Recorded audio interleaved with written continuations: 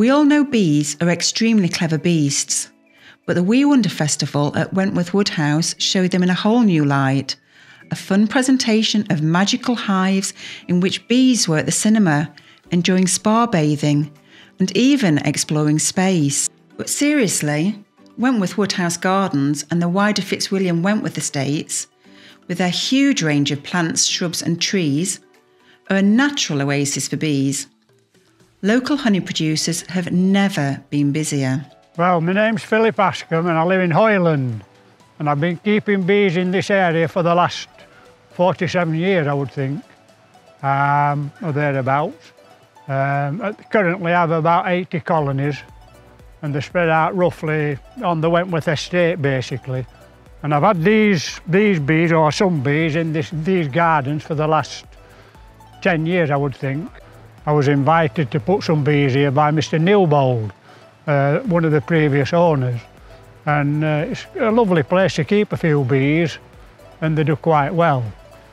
Uh, this morning I'm here to um, to prepare the bees for the for the for the move up onto the heather moors. Uh, we move them each autumn up onto the moors to, to gather the heather honey uh, when, while it's in flower here in August and, and early September.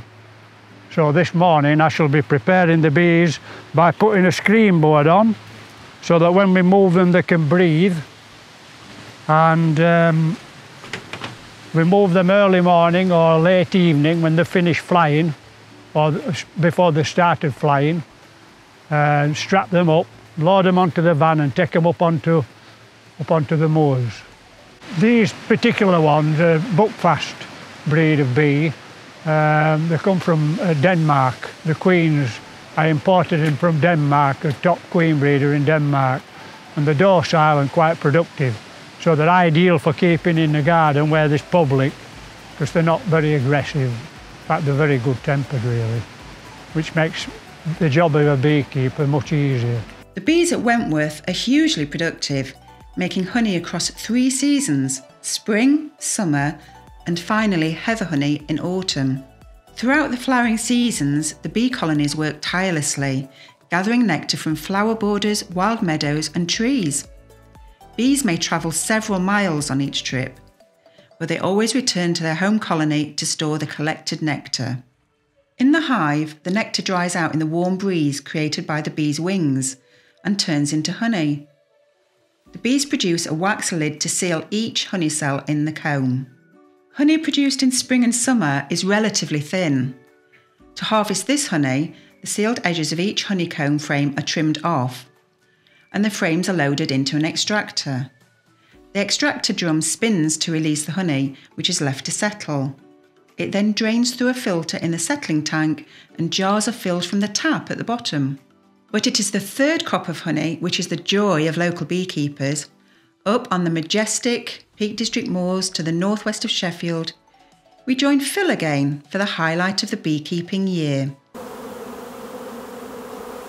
Well, here we are, we're on Bradfield Moor. Um, we brought the bees up from Wentworth Gardens.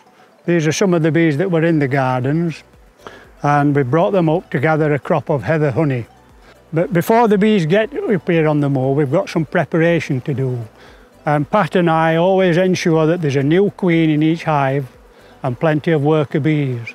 Because you're asking the bees to, to gather another crop at the end of the season. So it's important that you have an abundance of young worker bees to gather the crop. Most people work the bees on the heather for extracted honey, which they will put in the jars. But uh, Pat and I, my business partner and bee buddy, we give the bees just a starter strip, um, which is just a small piece of wax in the frame.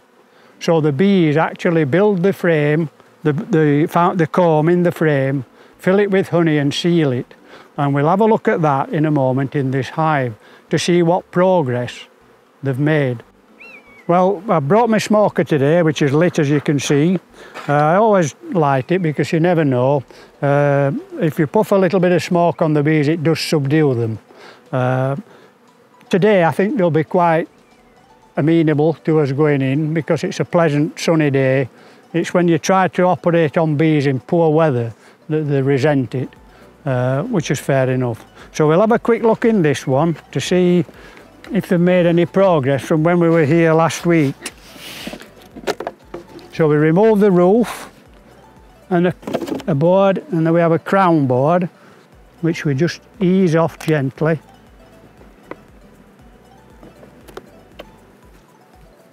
And there we see is the bees on the combs. Now as I showed you earlier, the um, that little thin strip of wax has been transformed into some beautiful heather honeycomb. And you can see that they're just starting to cap it. Um, you can see this area here is already sealed, which means the bees have extracted the water content from the heather nectar and sealed it to preserve it. And it's not until all this comb is fully filled and sealed that we would harvest it. Um, and that's a beautiful, lovely, white, pristine comb of honey. Just to let you see the colour of the honey, it is a red, a dark, well, darkish red colour you can see with the sun shining through the comb, as opposed to the golden summer honey. The bees eat the honey and um, generate the wax particles and form it into the comb. The bees have been here already for about um, three weeks uh, from the beginning of August and they should be here for another two or three weeks depending on the weather. Um, we shall harvest the honey crop and then we'll move the bees back down into the winter apiaries and um, we'll fit a mouse guard and, and, and make sure they've all enough food to, to, to survive the winter and that's the end of the beekeeping season really. Hi, I'm Pat and I'm Phil's apprentice. Um, but now I'm more business partner. I've been keeping bees for about 11 years and I first became interested by watching a few programs on TV about all the American beekeepers that took their bees to pollinate the almonds, which is on a much bigger, you know, industrial scale and they were talking about all the colony collapse disorder uh, that affected their bees at that time and how important the bees were for pollinating crops, which in turn feed humans, and how important it is in the life cycle of you know everything really that we need we need the crops to be pollinated in order to feed ourselves. And when they looked at beekeepers in Britain, I thought what an old it's quite an old-fashioned craft really and it piqued my interest that it's something that it wouldn't be re replaced by robots and some sort of craft that I could get into. And following that, my husband bought me a book on beekeeping and I, I went along to a local beekeeping meeting. That's where I met Phil. Phil was actually doing a talk about his experiences, which I found quite fun. And uh, I became his Saturday girl. And uh, once I'd finished uh, the course that I did through my local beekeeping association, I actually bought it one colony of bees. And 11 years later, I've now got 80 colonies of bees. I'm up on the moor pollinating the, uh, the plants up here. I've now got my own business and I'm loving it. It's the best thing, best move I ever made. It's an absolutely wonderful thing to do. Between Christmas and New Year, we go around the bees and we do heft them for weight, just to make sure that they do have enough food. Um, and we will feed them with some candy if, if required. And then what we find is around early March, mid-March is when the queens will start laying again, which coincides with the day lengths uh, extending and she will start laying eggs and that will increase the colony numbers and then we start the season all over again. Within the colony there are three types of bee. There's just one queen and she'll last anything up to three or five years. and there's about in this in these particular colonies there's probably about 60,000 worker bees and they're all female. Now in summer they will only live for about 6 weeks because they're really busy, they'll be out foraging and they'll forage all day while ever there's daylight and the weather's uh, nice and warm. And what happens is their, their wings just wear out, they just can't fly back and they'll die.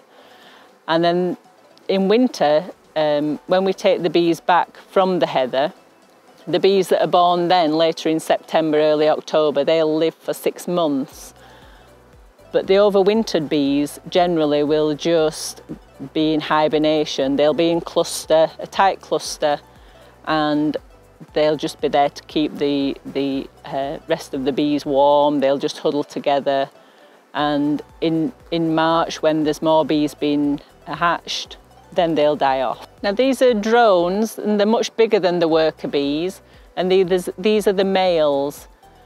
Now at the end of the season, the female bees, the workers, nibble away at their wings and they will throw them out of the hive because they're no longer useful in winter because there's no virgin queens being hatched, um, there's, there's, there's no more mating to be done. So in effect, they are redundant in winter.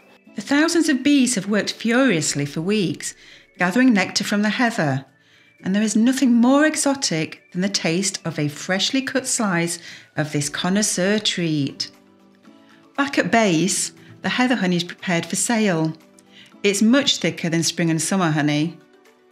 It's best presented simply by slicing the comb from the frame, cutting into portions, and put into boxes.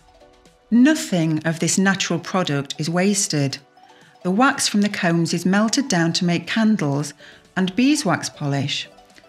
Wentworth Woodhouse is proud to support local beekeepers in their efforts to preserve the future of bee colonies. Bees are crucial in helping sustain the ecosystems of our planet.